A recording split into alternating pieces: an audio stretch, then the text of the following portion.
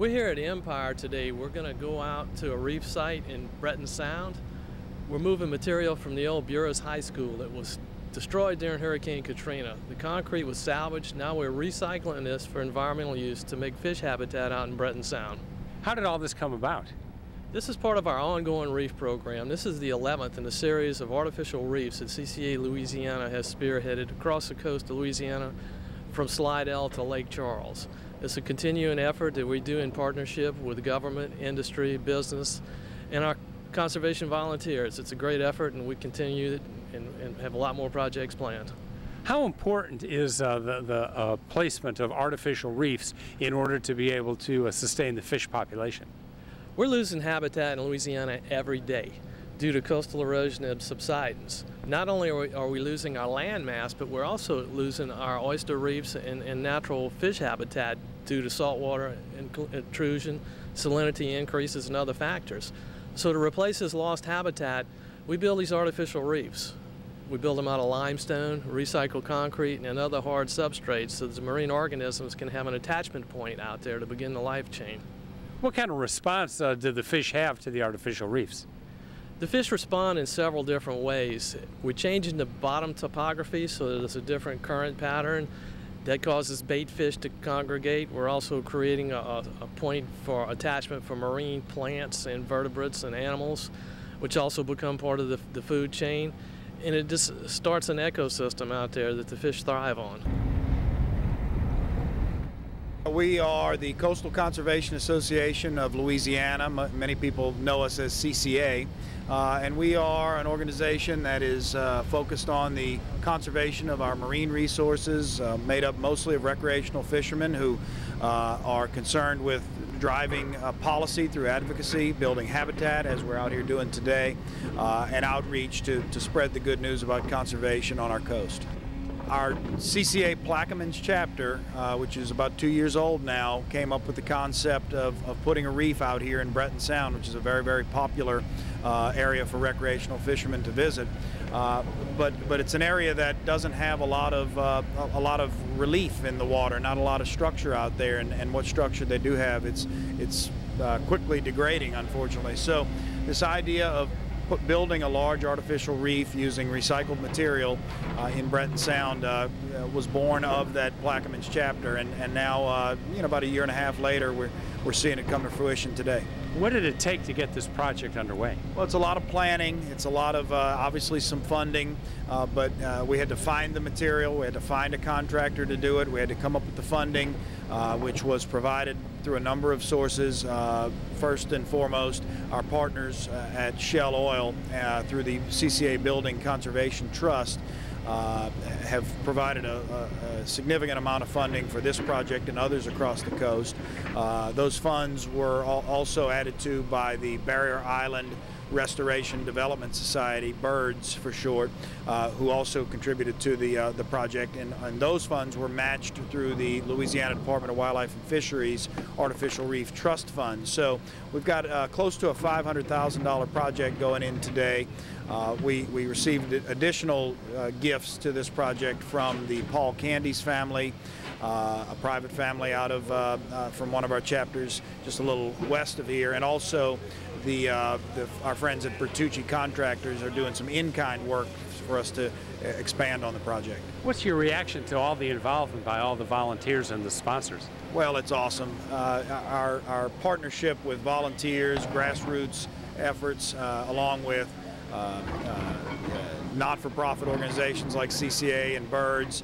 Uh, and then you partner private industry like Shell Oil Company and the Candies. I, all partner together with uh, a government entity like Louisiana Department of Wildlife and Fisheries. What a great partnership for conservation. It's showing itself here today. As you take a look at the project uh, being constructed, what, what goes through your mind? uh, just how neat it is that we're able to take uh, a great old structure like Buras High School, which was damaged in Katrina, uh, and see it sort of uh, gain new life as part of an artificial reef. We're building habitat. We are creating habitat for, for fish and for fishermen to enjoy.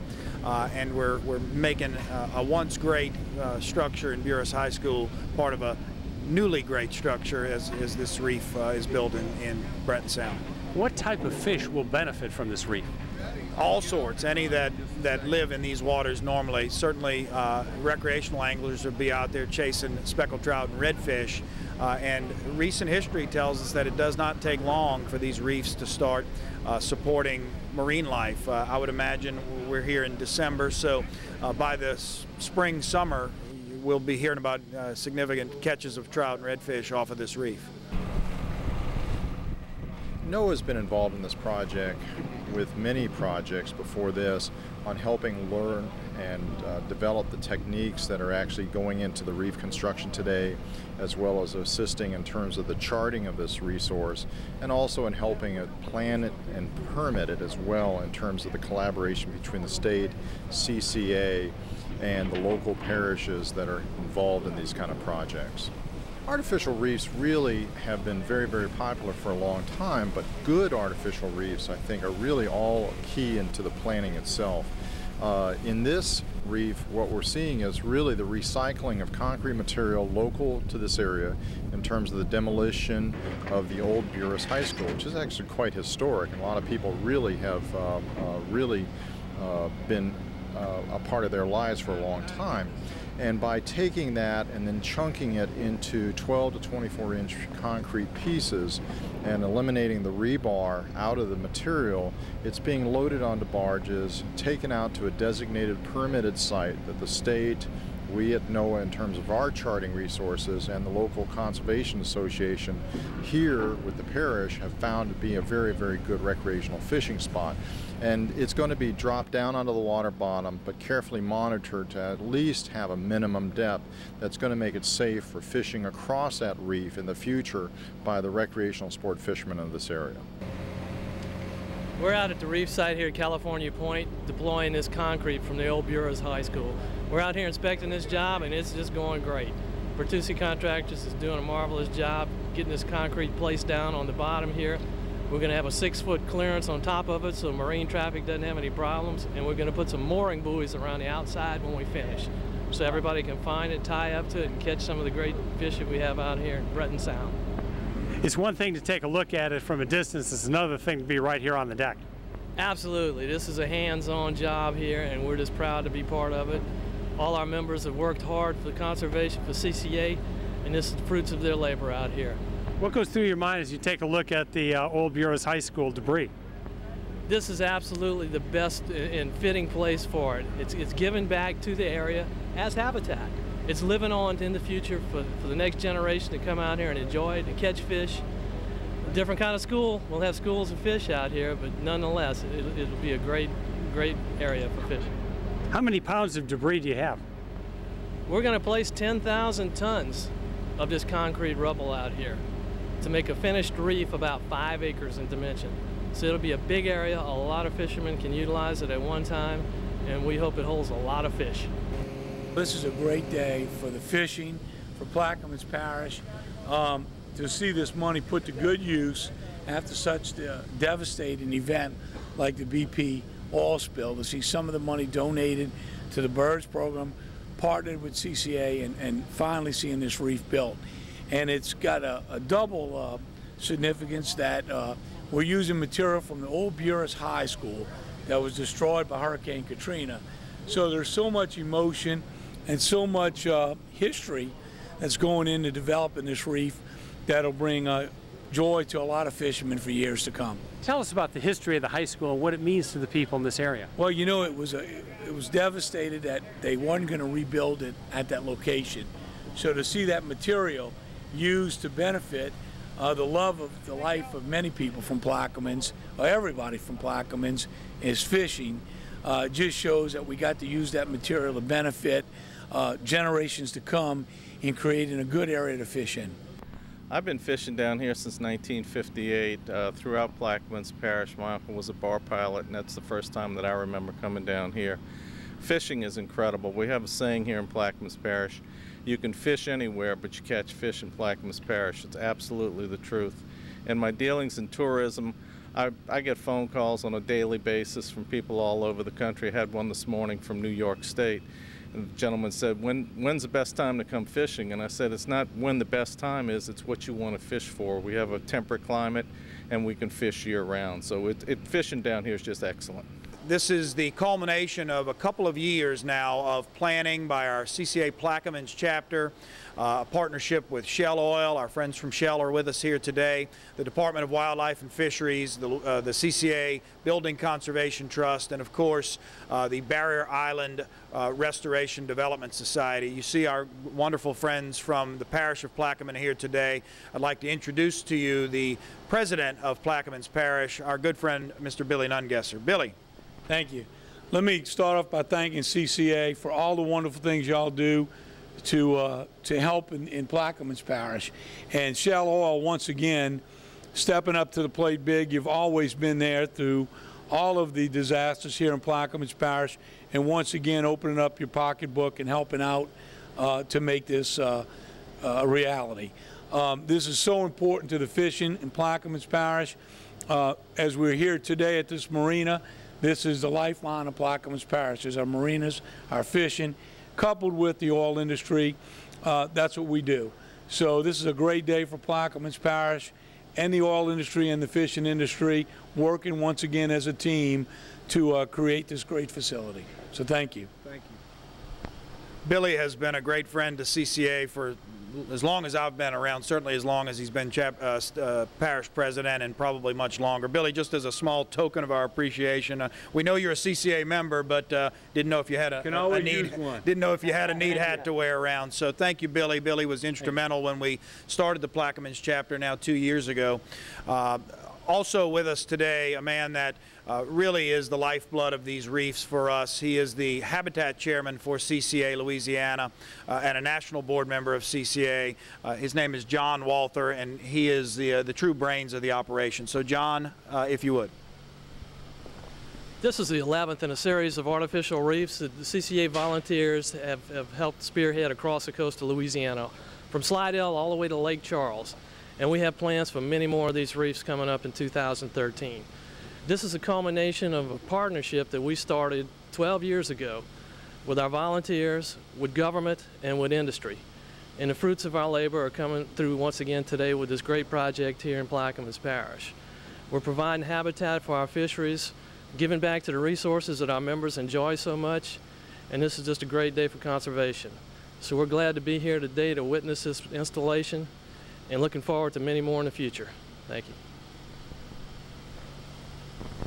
Another instrumental part of our Plaquemines chapter and, uh, and, and the recreational fishing community here in Plaquemines Parish is this beautiful marina, uh, Delta Marina here in Empire, and we're pleased and, and honored to have with us the owner of Delta Marina and uh, a great CCA life member, Mr. Darren Angelo. Darren.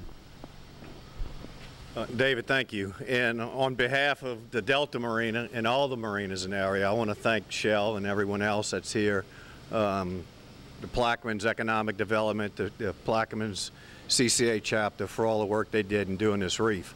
As many know, this is one of the most critical areas for erosion in the state of Louisiana, and it happens right here on both our east and west sides of the river. And uh, this reef right here is a huge, huge benefit for us for tourism as well, because now we have a reef that we can market.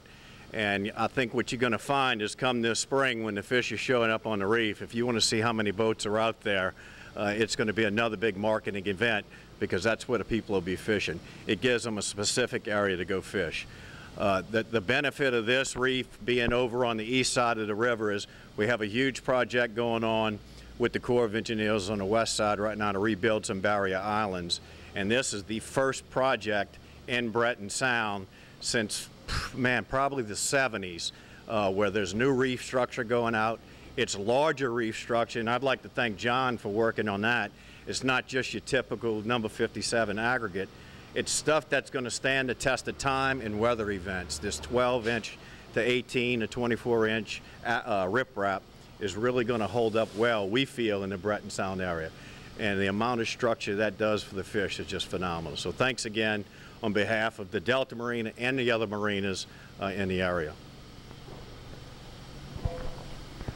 wanted to point out, uh, as Darren was talking, uh, very unique and interesting part of this particular project, first time we've ever done something exactly like that, like this, is that this material that we're using uh, is actually material from the damaged, Katrina damaged, uh, Buras High School. Uh, all of our friends from Plaquemine certainly know Buras High School is an iconic old uh, uh, school here in, uh, in, in Buras, and um, many thousands of people over, over the life of that school made their way through Buras. So to see the high school live on uh, after being damaged and not reopened, but see it now live on as part of an artificial reef, part of our coastal habitat, uh, a place where fishermen and fish will uh, will call home uh, is certainly a, a, a, very cool aspect of this. And uh, we haven't talked about this formally, but uh, quietly in our CCA circles, we would like, if the parish is okay with it, to call this the Buras High School Reef. And if it's okay with you, Billy, and okay with the parish, that, that really is our intention here. So from here on out, uh, and the buoys will be marked as such, we will refer to this uh, as the Buras High School Reef. Uh, it will be marked as such in future mapping done by NOAA. Uh, and people will come to know it as the Buras High School Reef, maybe the High School Reef for short. So next time you pull up at the marina this summer and you say, where are the fish biting? Don't be surprised if somebody says, hey, they're on the high school reef, and uh, we'll know what that means. So uh, I also want to again point out our good friends from Shell Oil Company, thank them on behalf of CCA. Uh, these guys uh, have been not only champions here in Louisiana, but across the United States with CCA, uh, building the Building Conservation Trust with us, a very, very generous gift uh, a couple of years ago that continues to build on itself and make projects like this possible. Not with us today, but certainly here with us in spirit are our friends from the Barrier Island Restoration Development Society, BIRDS, uh, who was, it was formed uh, four or five years ago after Katrina as a result of some donations that came into the parish. Uh, and this is one way that we're going to spend that, those dollars along with the parish and BIRDS to, to see this habitat being rebuilt. One other, uh, a couple of other thanks that we need to to say here. Uh, our friends from Bertucci Contractors who uh, have given a lot of in-kind services to this, which allows us to uh, spend the money that we're spending, but then also expand on the size of the reef because of the, the savings that we realize through using Bertucci. One final thank you I'd like to give is to our friends, the Paul Candies family, the Otto Candies company, the Paul Candies family, not only support of this particular project, but all of our reef projects across across the coast. So thank you to the Candies family for their continued generosity the department, Secretary Robert Barham, Governor Jindal, uh, Randy Pausina, Assistant Secretary of Fisheries, obviously, and Doug Peters with the Artificial Reef Trust, uh, Artificial Reef Program uh, are instrumental in this and great partners in conservation with CCA. So uh, thank you to them. Also need to say thank you to the Port Terminal District, I think I'm saying that right, uh, for making their boats uh, available to us today for the ride out to the reefs. NOAA is a wonderful partner of CCA's and uh, can't forget about our friends from NOAA who, who partner with us on all the reefs we build. So thank you to them as well. It's the Coastal Conservation Association. It's a national organization and we're the Louisiana chapter of that organization. We have about 30,000 members in Louisiana. There are about 100,000 members nationwide, and we're all on the same page with supporting our resources, preserving our marine resources for future generations. I think it's important to know that as recreational fishermen that uh, it's it's important that we all give back. This is an incredible resource we have here in Louisiana across the Gulf Coast, uh, but we can't just take. We've got to give back at some level, and CCA is, is the voice of those fishermen who want to support our coast and give back to the resource that's been so good to us uh, throughout our lifetimes, uh, and, and it's equally important and more so that we give back now so that generations to come have this great fishery and resource to enjoy. If people have questions like more information, what should they do? Uh, they can just call us at CCA at 225-952-9200. Of course, you can go to our website at uh, ccalouisiana.com or join cca.org, get all the information you need.